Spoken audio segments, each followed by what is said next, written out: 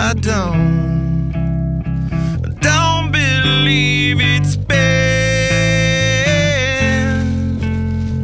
slitting my throat. So